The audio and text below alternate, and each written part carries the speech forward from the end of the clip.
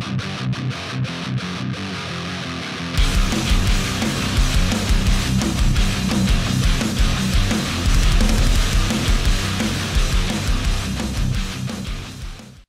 guys, it's Joe here from Ru-Fi-Oh. Welcome to the channel. If this is your first time here, welcome aboard. You should definitely hit subscribe and the notification bell before you go any further and realise how fucking garbage this content is. And if this is not your first time on the channel, you may want to give your head a wobble. But in either case, thank you very much for coming along. I do genuinely appreciate you being here. For today's video, we are doing a very budget-friendly rank 4 spam video. And anyone who's been on the channel before knows that I do a new one of these basically every single format with a Lightsworn engine inbuilt, and we go off from there. I fucking love Lightsworn. It's one of my all-time favourite decks, so being able to make variants of this just brings me no end of joy. Now, I will warn you in advance, if you're a Lightsworn purist, you're probably going to fucking hate it. But to be honest with you, I don't really care. I do plenty of videos out there for Lightsworn players, whether it's JD Turbo, Pure.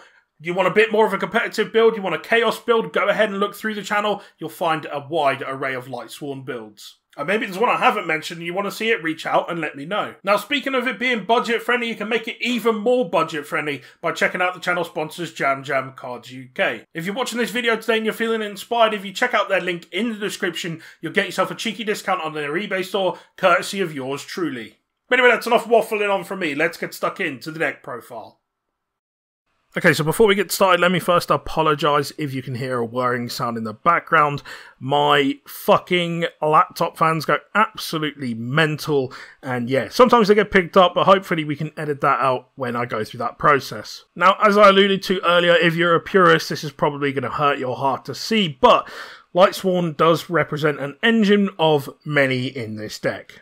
The intention with this is to be able to spam out rank 4s as quickly as possible. We do have a few link monsters which can switch up the game and the like. Now, it is worth noting again that this is a budget-friendly deck, so there may be options that you want to consider if you have access to some better staples that you don't see used in this list. So we'll start off by going through the deck. So two copies of Lumina, I think two is perfectly fine. If we were running a bigger Lightsworn engine, I'd run more. Really, this is just here to get resources back onto the field and unbrick our hand a little bit. I think it's perfectly fine at two. It also means that we can keep resolving the Lightsworn spell cards, which is very desirable in this build. Triple copies of Raiden because Raiden is the best fucking Lightsworn card that exists at the moment, outside of Minerva at least, um, and Charge of Light Brigade, but that's besides the point. Um, Raiden is the best of the main deck monsters for Lightsworn. Let's just leave it at that. You need to run three copies in here. Absolutely important for this deck's build. Just, yeah, you need to run it.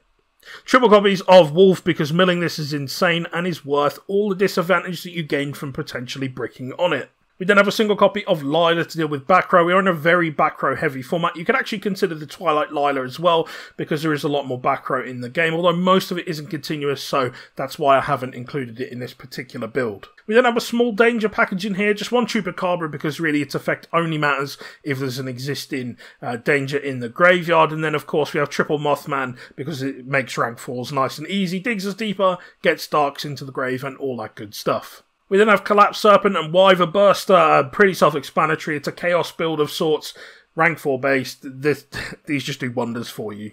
And much the same for Chaos Valkyria, fantastic in this deck. It can either get you into dark or light, depending exactly what you need. And it also means we can keep resolving stuff like Chaos Space, which is how we keep our resources going round.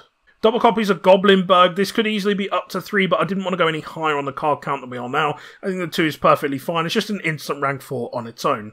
We then have a small Nemesis package, so we have Triple Corridor, we have a single copy of Flag, and a single copy of Keystone. Keystone's here mostly because it can help you go into an Earth way of making Curious as an option that you could consider, but it also means that we can keep the engine going round. That's exactly the same for Flag, being able to just keep getting those corridors back, and then of course corridors are free bodies on board as well as recycling some of your banished cards. We then have a package here of all the Clowny boys. So we've got Triple Hat Tricker, uh, just a free body on board again can help you go into Curious. Much the same for Damage Juggler, being able to search if it's sent to the graveyard and all of that. Trick Clown here again for free level 4 bodies on board. And Thousand Blades because you can revive it when your Trick Clown goes to grave and activates its effect. You've got an instant rank 4 on the field.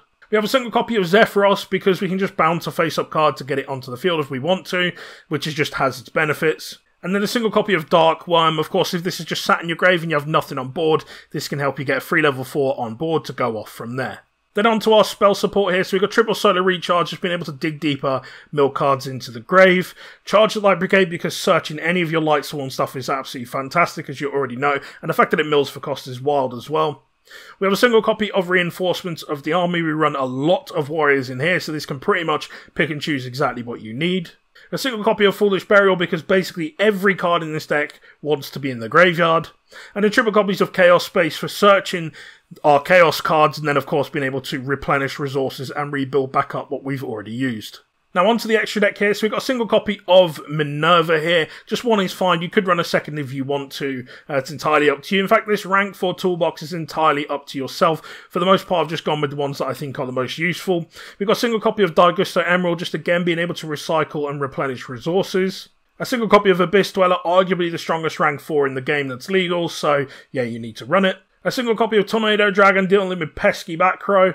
Bagooska, if you don't really see anything else and you can only make one rank 4, this can buy you a couple of turns to be able to go through your plays. Exciton Knight, just board wipes are fucking broken, this card's really strong. Reginti Tsukuyomi, this can help unbrick your hand and draw you a little bit deeper. We're then on to our links here. So we've got IP Masquerader for interrupting our opponent, usually with one of these two, Phoenix or Unicorn. We then have Curious because it's a light sworn deck. We can easily make him send anything to the grave and this is busted. I'm sure I don't need to elaborate. Borrelsword is now very budget friendly and is a win button in the right scenario, so absolutely has to go in here. A single copy of Michael just for good spot removal, and of course he's a Lightsworn boy, so that benefits as well. A single copy of the Chaos Magical Dragon. This is just fucking painful choice on legs. It's just absolutely insane that this card even exists and hasn't been abused more than it already has. And then finally, Borreload Savage Dragon, because it's Borreload Savage Dragon. Nice and easy to make, gives you a negate if you're going first, and all of that good stuff. And that, my friends, is all for today's video. By virtue of the fact that you made it this far into the video, hopefully you have it enjoyed it enough to have hit subscribe and the notification bell, or at least hated it enough that you couldn't possibly look away. Whichever one of those categories you fall into, thank you very much for being here. Now, it is worth noting that this isn't the only kind of content we do on the channel. Whilst we do do deck profiles, we do combo tutorials, how to play videos, locals, vlogs, discussion content, all of the good stuff that you could possibly want. So if you want to make sure you don't miss out on this kind of absolute hot fucking garbage in future, then definitely make sure you've hit that red button and the notification bell. It's also worth noting that I pay attention as much as possible to any comments, tweets, fucking whatever the Instagram equivalent of that is, Facebook messages, whatever. If you want to reach out and get hold of me, there are links down in the description to all of my social media channels, and you'll be able to communicate with me relatively directly. But anyway, that's enough waffling on from me. Thank you very much for being here, and I'll see you in the next one. This content is brought to you in association with my buddies over at Jam Jam Cards UK. You can find the links to the eBay store and the Facebook page in the description.